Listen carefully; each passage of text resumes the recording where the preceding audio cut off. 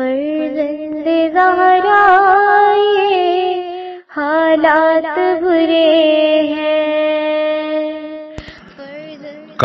बसीरत, एक ऐसा मुकम्मल यूट्यूब चैनल जिस पर महरूम बसारत के लिए, बिलखसूस और तमाम अफराद के लिए बिलमूम सैकड़ों की तादाद में इस्लामी कुतुब दस्तियाब हैं। लिहाजा गुजारिश है कि आप अपनी ज़िम्मेदारी निभाते हुए काशाना बसीरत को सब्सक्राइब करने के साथ साथ बेल आइकॉन को प्रेस कीजिए ताकि आप इल्म के उसूल के साथ साथ मज़हब अहल बैत की इशात में भी अहम किरदार अदा करते रहें। काशाना बसीर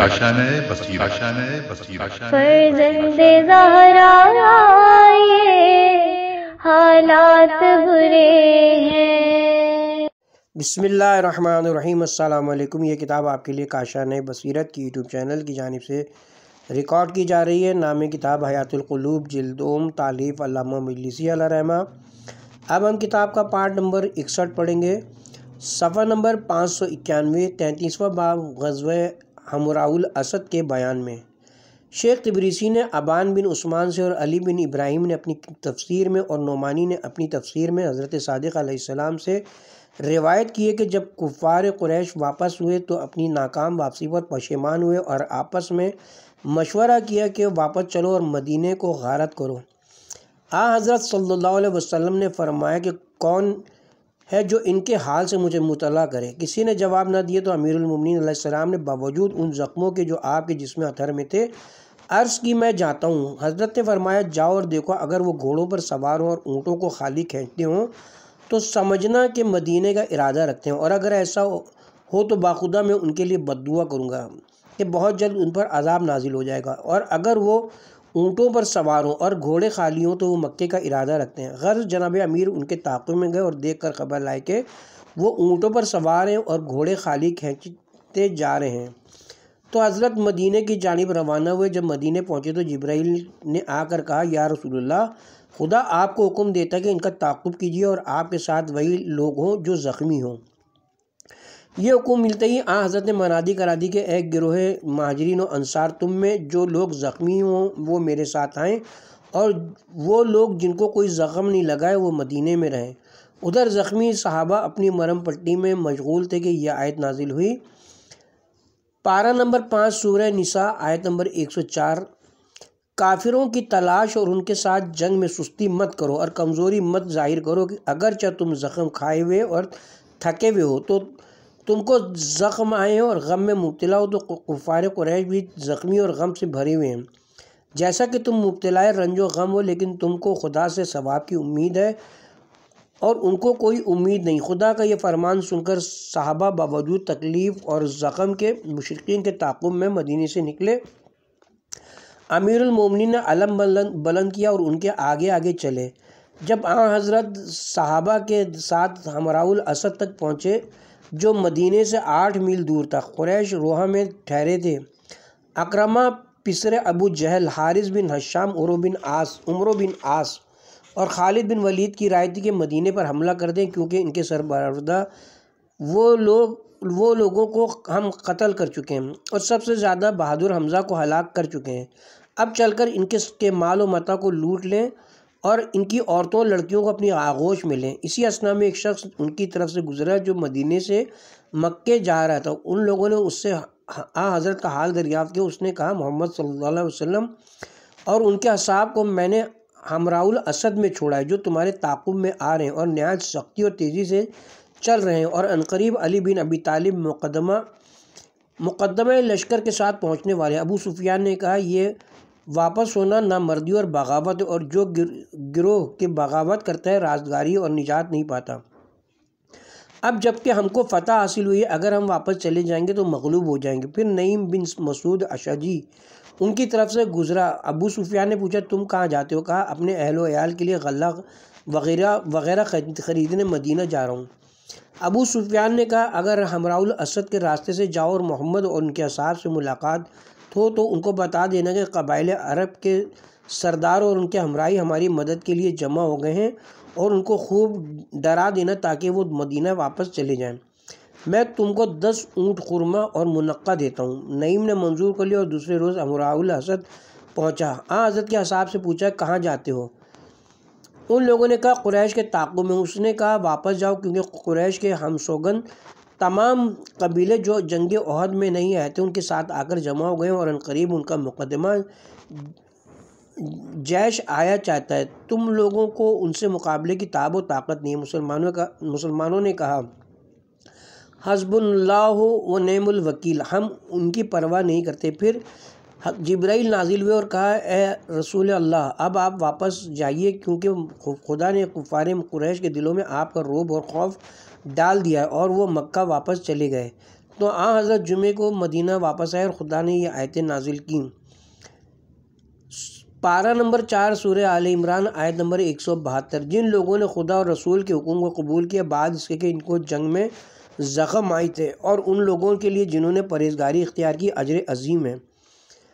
पारा नंबर चार सूर्य आल इमरान, आयत नंबर एक सौ तिहत्तर। वो लोग, यानी नईम बिन मसूद, जिनसे लोगों ने, यानी अबू सुफियान ने कहा कि तुम्हारे साथ जंग के लिए लश्कर जमा हुआ है तो उनसे डरो। तो ये बात उनके ईमान की ज़्यादती का सबब हुई और वो बोले कि हमारे लिए खुदा काफ़ी और वो हमारा क्या अच्छा मददगार है। पारा नंबर चार, आयत नंबर एक सौ चौहत्तर सूर आल इमरान। तो वो लोग खुदा की नेमत और उसके फजल के साथ वापस हुए। उनको कोई तकलीफ़ और अजियत नहीं पहुँची। उन्होंने खुदा की खुशनुदी के पेश नज़र, खुदा की खुशनुदी पेश नज़र रखी और खुदा बड़ा फजल वाला है। अदीस मतबरा में वारिद वारिद हुआ है कि जो शख्स किसी दुश्मन से कहे हसबुल्ला व नेमुल वकील तो उसको दुश्मन से कोई ज़र नहीं पहुँच सकता।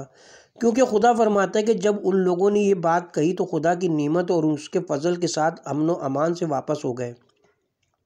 शेख तबरीसी ने अबान बिन उस्मान से रिवायत की कि जब आ हज़रत अलैहि वसल्लम जंग जंग हमराउल असद को गए, एक फासिका औरत जिसको असमा कहते थे, जो बनी हुतमा से थी और वो औस व खजरत की मजलिसों में जाया करती थी, जलसों में आ हज़रत सल्लल्लाहु अलैहि वसल्लम की मजम्मत में अशार पढ़ा करती थी और लोगों को आ हज़रत से जंग की तरगीब दिया करती थी।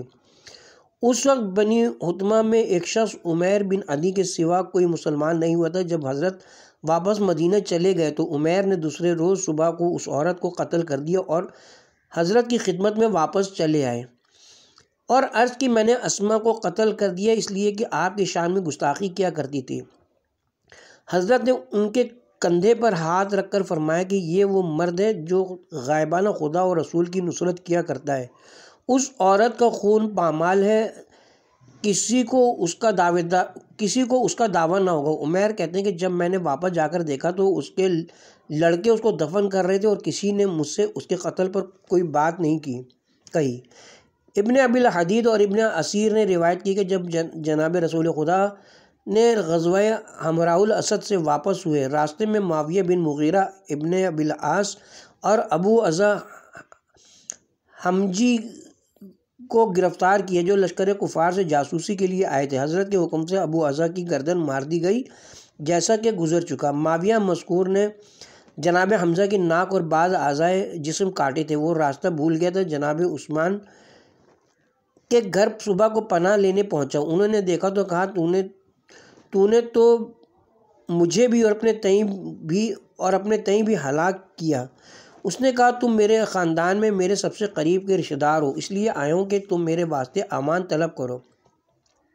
जनाब उस्मान ने उसको अपने घर में छुपा दिया और हज़रत के पास आए ताकि मालूम करें कि उसके बारे में क्या तस्करा हो रहा है। जब वहाँ पहुँचे तो हज़रत को कहते हुए सुना कि माविय मदीने में उसको तलाश करो, एक साबी ने कहा, वो तो उस्मान के घर में, लोग उनके घर पहुँचे और उम कुलसूम रबैया, रबिया सरवर कायनात ने बता दिया कि वो फ़लाँ मुकाम पर छुपा हुआ है। लोगों ने उसको बाहर निकाला और आ हज़रत की खिदमत में हाजिर किया। जब उस्मान ने देखा कि उसको लोग पकड़ लाए तो हज़रत से अर्ज़ की खुदा की कसम मैं इसीलिए हाजिर हुआ हूँ कि हज़रत से उसके वास्ते अमान तलब करूँ या हज़रत उसे मुझको बख्श दे बख्श दीजिए। हज़रत ने फरमाया अच्छा मैंने तु, मैंने उसे तुमको बख्श तो दिया मगर तीन दिन के बाद वो मदीना या इसके करीब व जवार में उसके कुर्ब जवार में कहीं ना दिखाई दे। अगर कोई इसको देखे तो कत्ल कर दे। उस्मान ने जल्द जल्द जल्द जल्द उसके लिए सफ़र का इंतज़ाम किया और एक ऊँट ख़रीद कर उसको दिया और रवाना कर दिया। और आ हज़रत गजवा हमराउल असद की तरफ़ मुतवजो हुए और माविया तीन रोज़ तक मदीने में मुकीम रहा ताकि हज़रत के हालात से मुशरकिन को आगाह करे। चौथे रोज़ हज़रत सल्लल्लाहु अलैहि वसल्लम ने फरमाया कि कौन है जो माविया को तलाश करके मेरे पास हाजिर करें? ये सुनकर जैद बिन हारसा और अम्मार यासिर ने उसको तलाश करना शुरू किया, चूँकि वो रास्ता भूल गया था और अभी मदीने के करीबी था। इसलिए जैद ने उसको एक तलवार मारी। अम्मार ने कहा, मेरा भी हक़ है। और एक तीर उसको मारा और उसको कत्ल कर दिया और उसके और उसकी इतला आ हज़रत सल्लल्लाहु अलैहि वसल्लम को दी। मौली फरमाते हैं, यही सबब था कि उस्मान ने कुलसुम कुलसुम रबिया पैगंबर को शहीद कर दिया, क्योंकि उन्होंने माविया का पता लोगों को बता दिया था, चुनाचा आइंदा मुफसल ज़िक्र आएगा। सैयद इबन ताउस ने रिवायत की कि जब अमीरमिन जंग अहद से वापस हुए, आपके जिसम अकदस पर अस्सी ज़ख़म आए थे, जिसमें बत्तियाँ भरी जाती थीं। हाँ हज़रत, आपकी अयादत को आए जनाब अमीर एक खाल पर लेटे हुए थे, हज़रत ने उनको देखा तो रोने लगे। और फरमाया, जो शख्स राय खुदा में ऐसी तकलीफ़ उठाता है, खुदा पर लाजिम है कि उसको बे इंतहा सवाब करामत फरमाए। ये सुनकर जनाब अमीर भी रोए और फरमाया कि खुदा का शुक्र है कि मैंने आपकी तरफ़ से मुँह नहीं मोड़ा और न भागा, लेकिन गम यह है कि काश शहादत हासिल होती। हज़रत ने फरमाया इन तुमको शहादत भी नसीब होगी। फिर हज़रत ने फरमाया कि अबू सुफियान ने मेरे पास पैगाम भेजा और धमकी दी और कहलाया कि हमारा और तुम्हारा मुकाबला हमराउल असद में होगा। जनाब अमीर ने अर्ज़ की, या रसूलुल्लाह, मेरे बाप, माँ, आप पर फ़िदा हूँ, मैं हाजिर हूँ और सबसे पहले इस जंग के लिए तैयार हूँ। अगरचे तकलीफ़ व नातावानी के सबब लोग मेरा हाथ पकड़ के ले चलें। उस वक्त खुदावंद आलम ने अमीरमिन की शान में यह आयत नाजिल फरमाई। पारा नंबर चार सूर आल इमरान, आयत नंबर एक सौ छियालीस। यानी मुसलमानों ऐसे बहुत से पैगंबर गुजरे जिनके साथ बेहतर अल्लाह वाले ने जिहाद किया और इन पर खुदा की राह में जो मुसीबत पड़ी तो ना उन्होंने हिम्मत हारी और ना बुजदली दिखाई और ना दुश्मन के सामने गिड़गिड़ाए और खुदा तो साबित कदम रहने वालों से मोहब्बत रखता है। इसी साथ ही तैंतीसवा बाब गजव हमराउल असद का बयान अपने अख्ताम को पहुँचा। आगाज़ होता है सफ़र नंबर पाँच सौ पचानवे, चौंतीसवा बाब उन गजबात और वाक़ात का बयान जो जंग अहद और जंग एजाब के दरमियान हुए, वाक़ हुए और उसमें चंद फ़सलें हैं।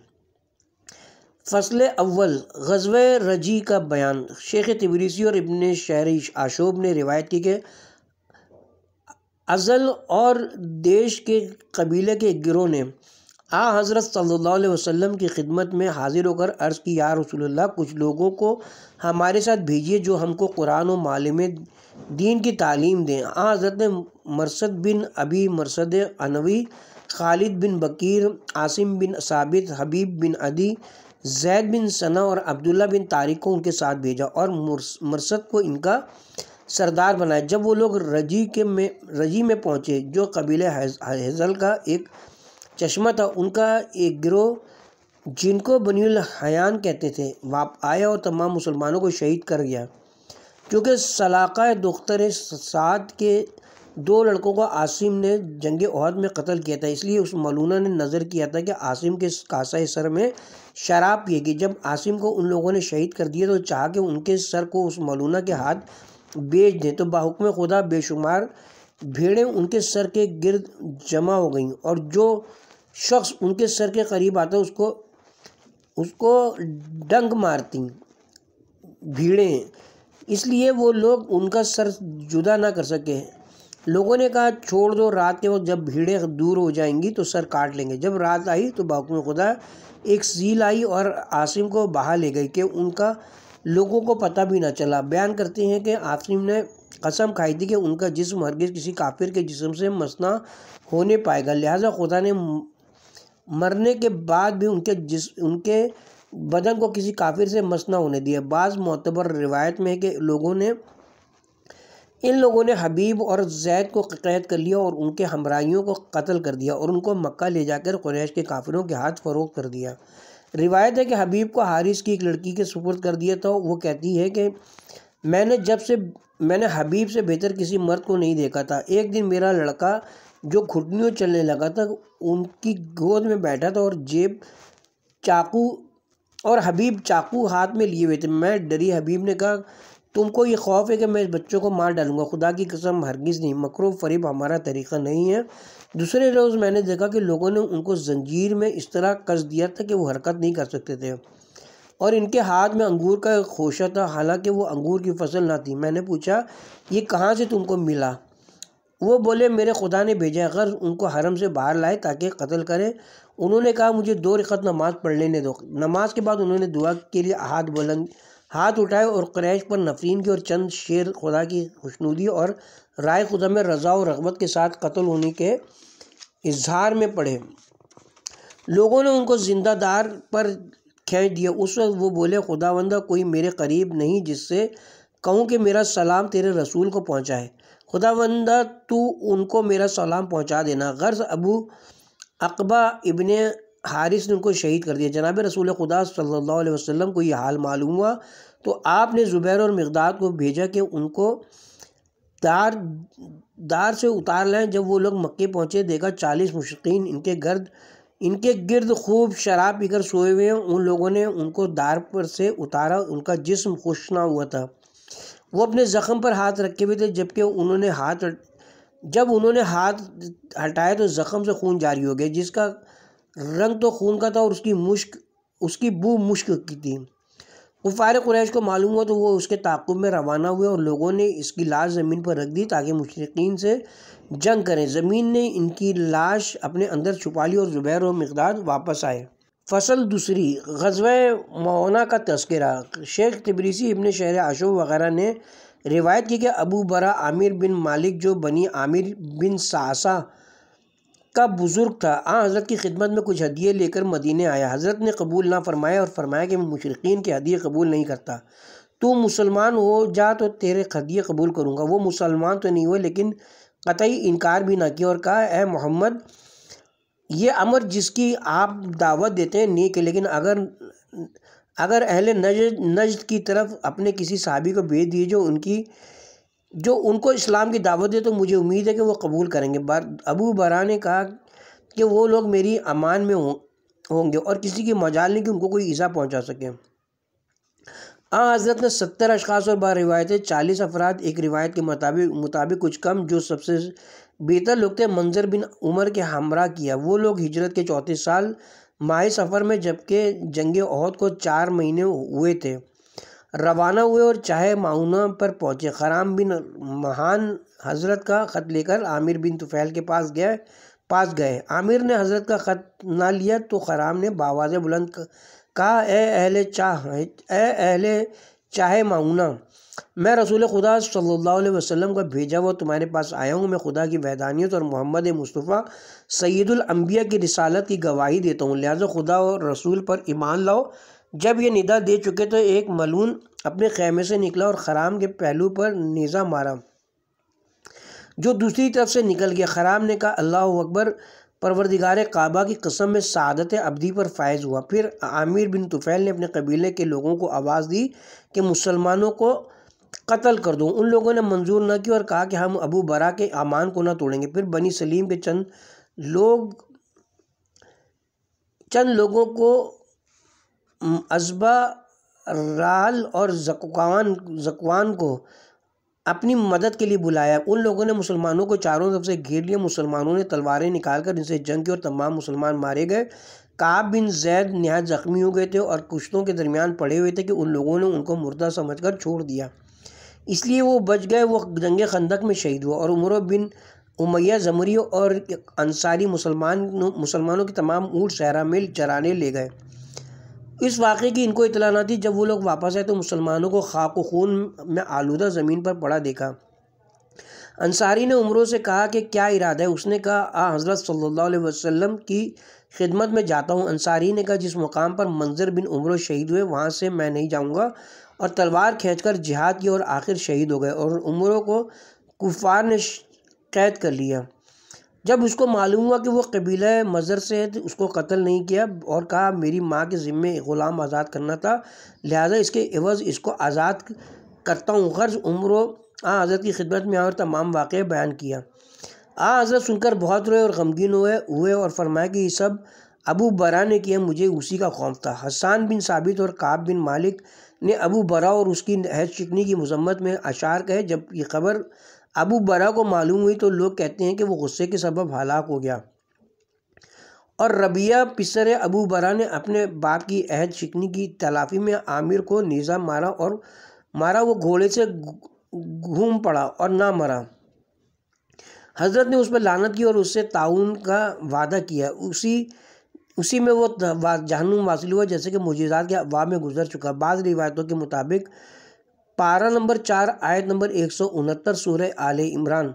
खुदा की राह में जो लोग मारे गए, उनको मुर्दा मत समझो। वो ज़िंदा हैं और अपने परवरदिगार से रोज़ी पाते हैं। शदाय चाहे माउना के हक़ में नाजिल हुई। एक रिवायत है कि दूसरी ये आयत नाजिल हुई थी, जो कुरान में दाखिल नहीं है दाखिल नहीं की गई। यानी हमारी कौम को हमारी तरफ़ से ये पैगाम पहुँचा दो कि हमने अपने परवरदिगार से मुलाकात की इस आल में कि वो वो हमसे राज़ी हो और हम उससे राज़ी हों। फ़सल तीसरी, गजवा बनी नज़ीर का बयान। शेख तबरीसी और अली बिन इब्राहिम और इबन शहर आशूब वगैरह ने रिवायत की कि जब जनाब रसूल खुदा सल्लल्लाहु अलैहि वसल्लम हिजरत करके मदीने में तशरीफ़ लाए तो बनी नज़ीर ने जो मदीने के सबसे बेहतर लोग थे। आ हज़रत की इस बात पर सुलह कर ली कि मुसलमानों से न जंग करेंगे, न किसी की इस मामले में मदद करेंगे। हज़रत ने इस शर्त पर अमान दे दी, लिहाजा जब जंग बदर वाक़ हुई और हज़रत ने और आ हज़रत मुशरकिन पर गालिब हुए तो इन लोगों ने कहा कि खुदा की कसम, ये वही पैगंबर है जिनकी पेशन गोई हमने तौरियत में देखी है, जिसका दीन कभी ज़ायल ना होगा।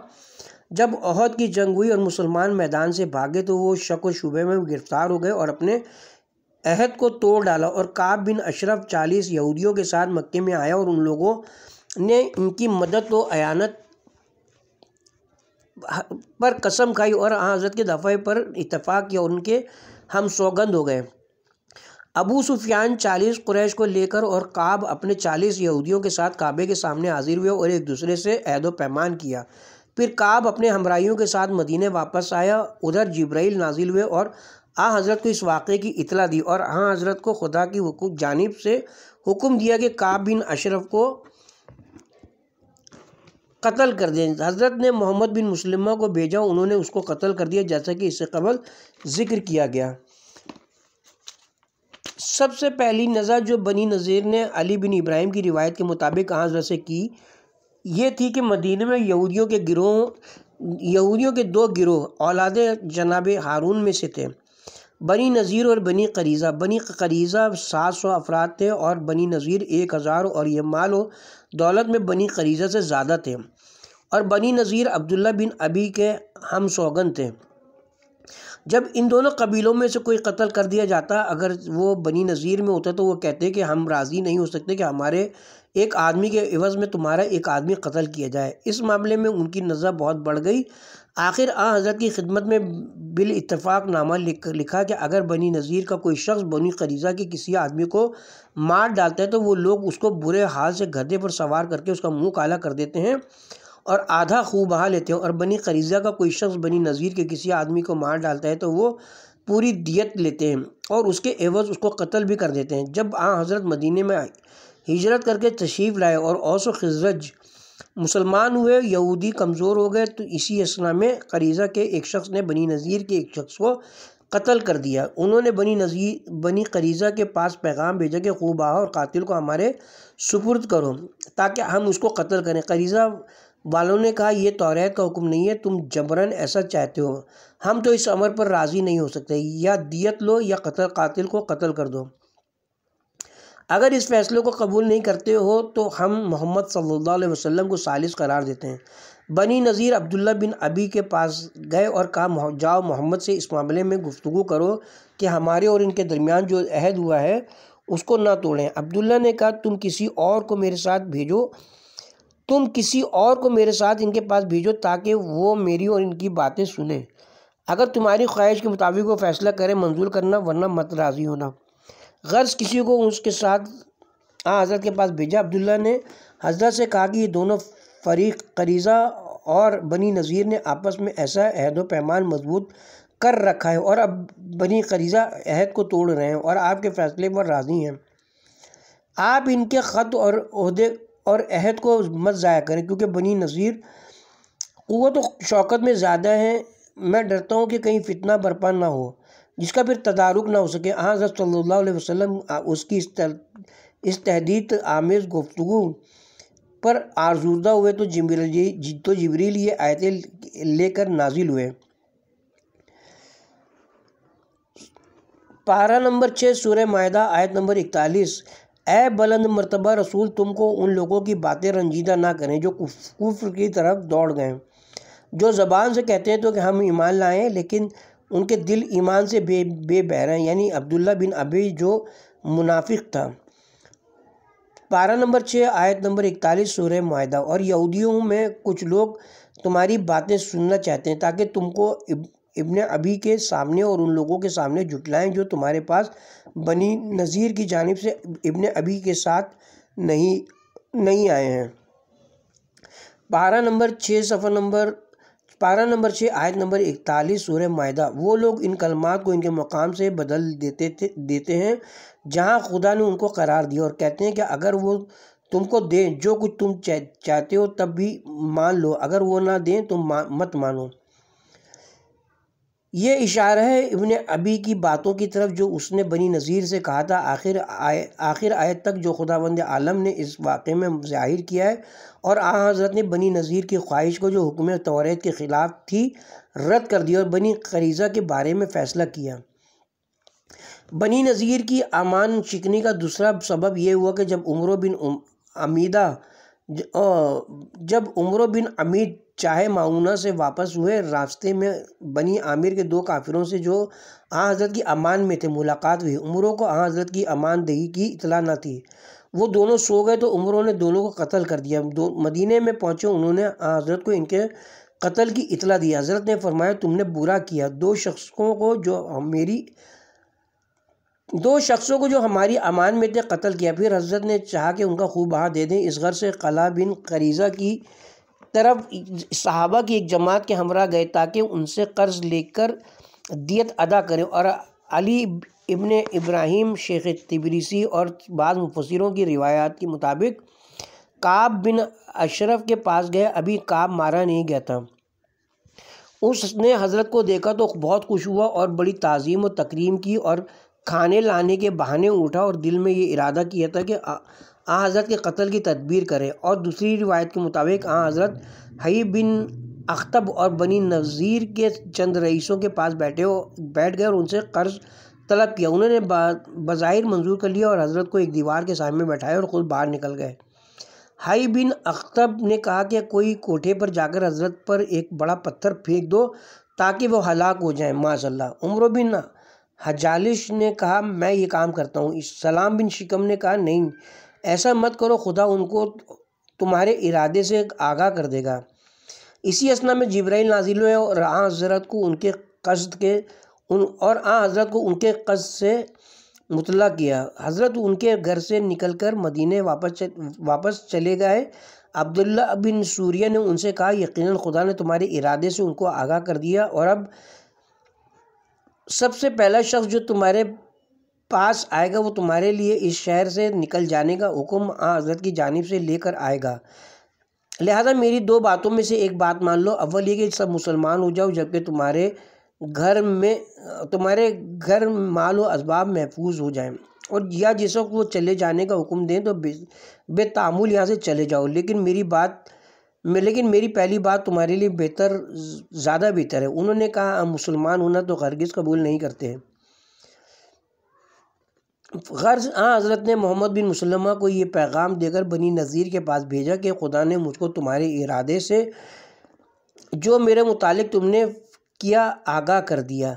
लिहाजा अब या तो हमारे शहर से निकल जाओ या जंग के लिए तैयार रहो। मैं तीन रोज़ की तुमको मोहलत देता हूँ। उन्होंने पहले तो कह दिया कि हम यहाँ से नहीं निकल जाएँगे।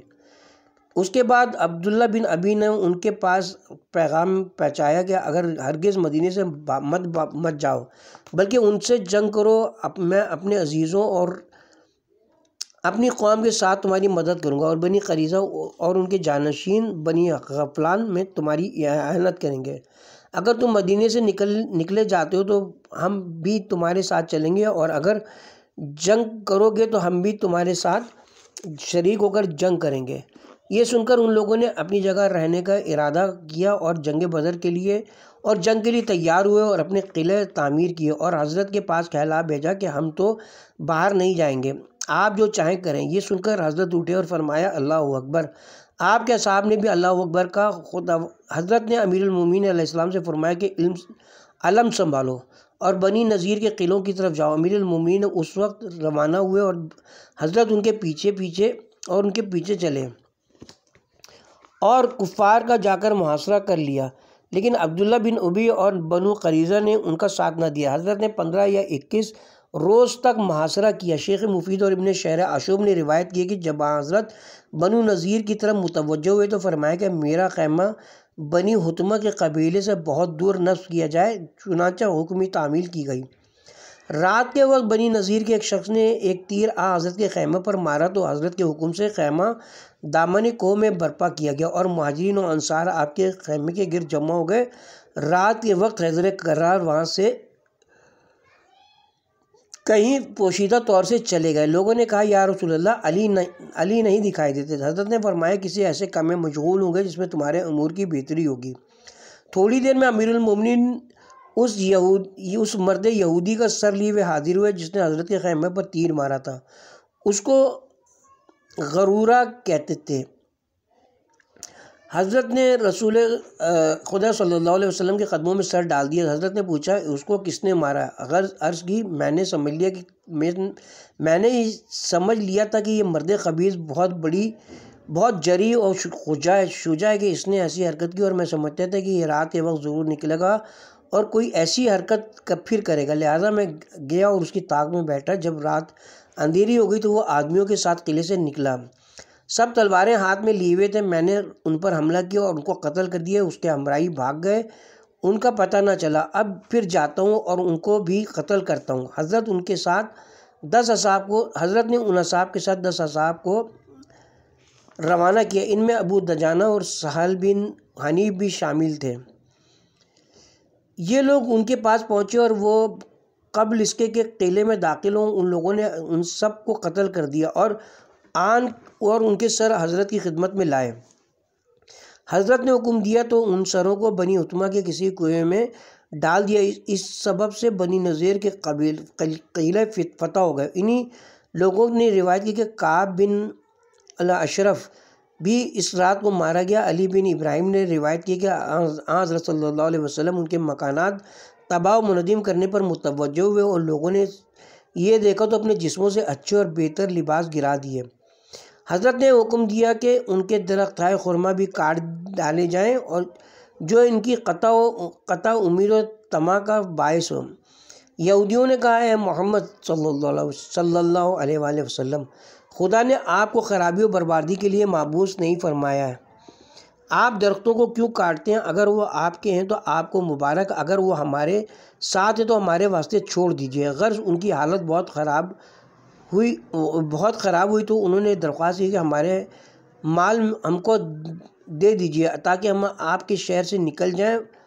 हज़रत ने फरमाया, तुम्हारा, तुम्हारे तमाम अमवाल नहीं दूँगा जिस कदर तुम्हारे ऊँट पर बार हो सके, उस कदर तुम ले जाओ, ले जा सकते हो। यहूदियों ने मंजूर ना किया, फिर चंद रोज़ के बाद आजिज़ होकर ख्वाहिश की अच्छा जो कह, आप कहते हैं, हम उसी पर राज़ी हैं। हज़रत ने फरमाया, चूँकि तुम पहले राज़ी ना हुए, अब इस शर्त पर अमान देता हूँ कि तुम सब बग़ैर कुछ लिए चले जाओ। अगर किसी ने कोई चीज़ ली तो उसको कत्ल कर दूँगा, जनाब, कर दूँगा। आखिर वो इसी शर्त पर राज़ी हुए और ऊँट और एक मश्क दी। बाज़ों ने कहा कि हज़रत ने सिर्फ़ उनके असले के लिए और बाज, फरमाया कि जिस कदर सामान ऊँटों पर बार हो सके ले जाओ। बयान करते हैं कि वो लोग 600 ऊँटों पर अपने सामान ले गए उनके हथियारों में पचास जरें पचास खुद और तीन और तीन सौ चालीस तलवारें हजूर को मिली चूँकि उनके तमाम माल बग़ैर जंग के हासिल किए हुए किए हुए थे, इसलिए वो सब हज़रत की मिल्क करार पाए लेकिन हज़रत ने उन तमाम, लेकिन हज़रत ने तमाम सामान व इसबाब तो महाजरीन को तकसीम कर दिया और उनके मकानात खेत और चश्मे अमीर अमीरमिन को दे दिए। जनाब अमीर ने इन सबको औलाद जनाब फातमा के नाम से वक्फ कर दिया। बनी नज़ीर के कुछ लोग तो फ़ेदक और वादिय कुरान की तरफ़ गए और कुछ लोग शाम के अतराफ़ में जा बसे और एक रिवायत के मुताबिक उनमें से कुछ लोग खैबर में जाकर आबाद हो गए। खुदा ने सूर्य हशर में ये आ, ये आयतें उनके ज़िक्र में नाजिल फरमाई। सूरह हश पारा नंबर अट्ठाईस सूर्य हशर आयत नंबर छः था पाँच। हाँ, माफ़ कीजिएगा सूर्य हशर आयत नंबर दो दो था पाँच। वो खुदा वो है जिसने अहले किताब में से जो काफिर हो गए थे उनको उनके मकानों और मंजिलों से पहले ही मंजिलों से पहले ही हिले में निकाल दिया। यानी बनी नुज़ैर को और यानी बनी नज, बनी नज़ीर को और और ए मोमनो, तुमको ये गुमान भी न था कि वो निकल जाएँगे, और वो लोग भी ये समझते थे कि उनके किले उनको अजाब खुदा से बचा लेंगे। तो उन पर खुदा का अजाब आया उस जगह से जहाँ से उनको उम्मीद ना थी, और खुदा ने दिलों में खौफ व हिरास इस, खौफ व हिरास पैदा कर दिया, जबकि वो अपने हाथों से अपने मकानात बर्बाद करते थे। और मोमिन भी लिहाजा आँख वालों और समझने वाले वालों इबरत हासिल करो। पारा नंबर अट्ठाईस, आयत नंबर तीन सूर्य हशर हो। और अगर खुदा ने उनके लिए यही यही लिख दिया कि वो अपने घरों से निकाले जाएँ और आवारा और सरगर्दा हों तो यकीनन वो दुनिया में उन पर कत्ल और असीरा का, असीरी का अजाब करता और अजाब और आखरत का अजाब उनके लिए तैयार है ही, है। इस लाइन को दोबारा पढ़ते हैं। बारह नंबर अट्ठाईस, आयत नंबर तीन सूर्य हशर।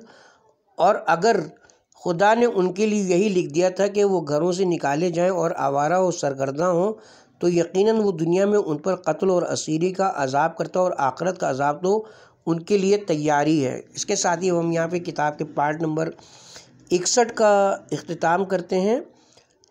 चौंतीसवा बाब, वो वाक़ात जो जंग अहद और एजाब के दरमियान वाक़ हुए अभी जारी है और फ़सल नंबर तीन भी अभी जारी है। किताब के पार्ट नंबर बासठ का आगाज़ हम इसी बाब से करेंगे इन